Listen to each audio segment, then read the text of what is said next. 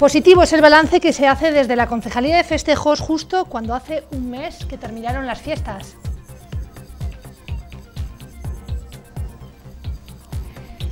...20 euros más por niño, eso es lo que cuesta este año el servicio de comedor escolar.